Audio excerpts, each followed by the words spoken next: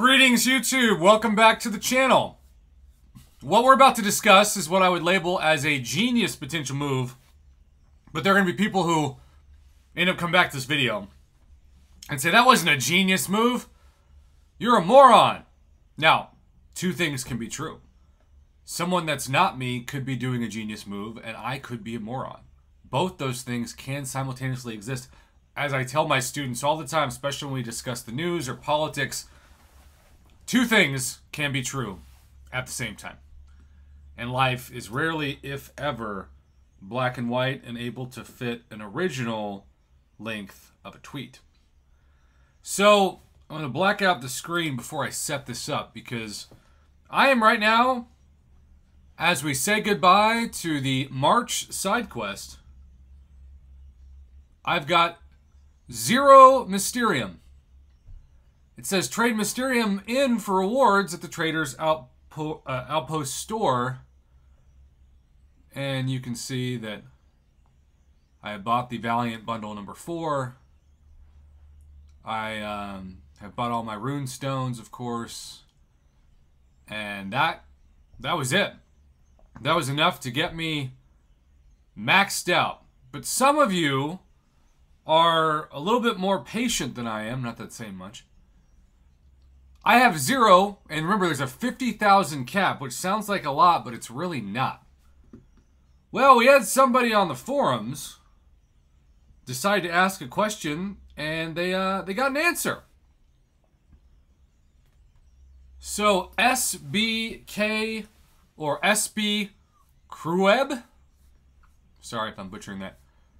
Can the Mysterium we earn this month be used in next month's store? Now this would be a historic first. Someone would be a genius for thinking ahead for this. Now, again, genius might be a little bit overly emotional, but I would rather compliment somebody too much, especially when it's not myself, because I feel like if you call yourself a genius, that's just a great way to look like a tool. But if you're complimenting somebody else that's kind of a stranger, well, then what's so wrong about that? I bought what I wanted and would rather save it for next month. Again, genius take. Love that take. It's fitting that his profile is the destroyer because he's destroying the strategy if true. Everyone says we should be able, but can Mike or Jax confirm it? We even have some uh, potential insightfulness, I think, maybe? All right, Kabam Mike. Not that he watches this channel, though I know he knows it exists because we have talked about it. But Kabam Mike, if you're watching this video, I'm going to do something that you might not be prepared for. I'm going to compliment you. I'm as shocked as you are. And I thought I was like Korg. I thought I was shock immune. Yes, you can. But remember that there is a cap of 50,000 Mysterium, and those bundles refresh every week.